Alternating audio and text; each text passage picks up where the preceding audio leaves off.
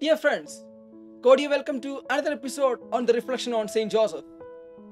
Home is always a nostalgic experience to all of us, especially for those who are far away.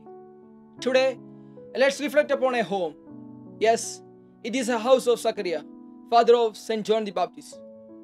The home which became the abode of the Most High after being deprived of a child for years. Yes, all the curses which they had been hearing for years were turned into a blessing with the arrival of Mary, with the most holy Redeemer in her womb. Yes, Elizabeth was indeed privileged to be served by the Mother of God at the time of her pregnancy. But the moot question is this Was Mary alone in her visit to Zachariah's home? Certainly not, with Jesus in her womb. But we could probably say that there was also a third person with them on that journey. You may think of it as an imaginary story, but it is closer to reality. Even though the scripture doesn't mention it, there is no reason to believe that Mary went alone. The Joseph being busy at his carpenter duty, while the woman whom he was entrusted by God was miles away from him.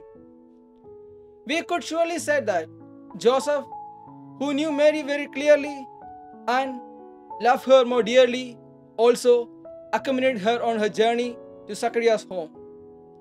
If Mary was a consolation for Elizabeth, Joseph was definitely a consolation for Zachariah, who might have been struggling with his old age problems and with his inability to speak, that too at a time when he was about to become a father. And Joseph, for all his righteous deeds in Zachariah's home, we can reasonably claim was rewarded by heaven later during his difficult times. At this time, when the whole world is struggling with the pandemic, let's offer a helping hand to the needy and the suffering as Saint Joseph did, and prepare ourselves to be with society, giving it consolation and hope. Let's remember the words of our Lord. Truly I tell you, just as you did it to one of the least of these who are members of my family, you did it to me. Matthew 25 14.